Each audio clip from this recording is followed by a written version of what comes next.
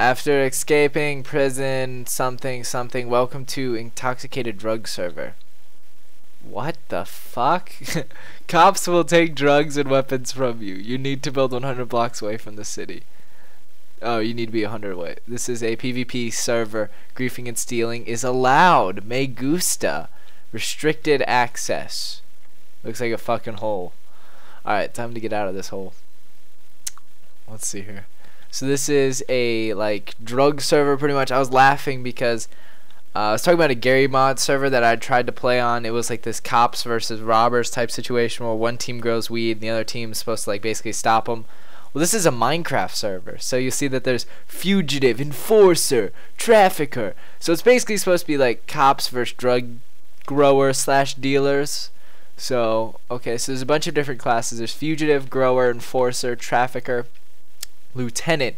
You receive the drugs that the traffickers. Okay, and then patron. It's not patrol. It's patron. You run the drug scene, and you are the highest rank in the cartel. Uphold your reputation. I want to be a patron. I want to try to join the drug people. Okay, so cactus is marijuana. Pink dye is ecstasy. Sugar is cocaine. Red shrooms is shrooms. Brown shrooms is shrooms. Hmm. Wonder who came up with that. Sulfur is heroin. And seeds are pills. Okay. This is already a very hippie spawn. Information. What happens if I click it?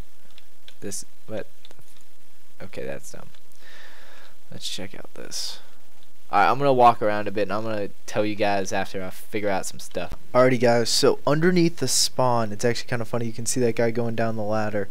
What you're going to have to do is you're going to have to find a manhole cover. So go up top here. You'll see that's right outside of the spawn building. You just walk down here and then you'll find the sewers. So this took me a little while to find. This is where once you have your own house, you sell all your shit to. Now there's a few shops around here. Some of these sell like diamonds, other of these sell uh, like they sell you cactus and whatnot. So I bought a single cactus. I'm gonna see if I can't grow it into a few more and get a full cactus farm going. I'm gonna grow some uh, weed. I believe that's. Oh wait, how do I get cactus green? Oh God, I'm not even familiar with this stuff. I don't even, I don't make colored dyes and stuff, so I don't even bother with it typically. But what I have to do is I have to cook a piece of cactus in a furnace. Smart. Okay, so I bought some food bottles in the town. Now that I'm outside of the town, I found a suitable spot. I'm going to set my home here. And I'm just going to plop down a crafting bench. I took down a tree. So now I've got some wood. I'm just going to go... This is going to be like pretty much typical survival at this point. Okay, here we got a creeper. Okay, I'm going to need to kill him to get the drugs inside of him. Because sulfur is a drug. I forget which one. And that was a fail. Okay, and then I just fall down the hole. And holy shit, they've got MCMMO. And there's also another creeper. Let's see here. Gotta be careful. Come on, Mr. Creeper. Let's go. I hate multiplayer creepers. And explode. Okay. Oh, and explode. There we go. Now he's exploding. And explode. Come on, go. Go, Mr. Creeper.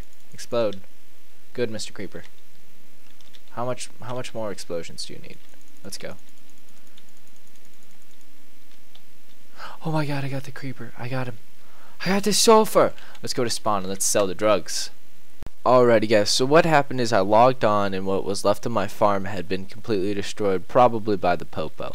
Anyway, so what I did is I went back down into the little sewer area and I'm completely broke, but I bought 10 cactus and 10 sugarcane.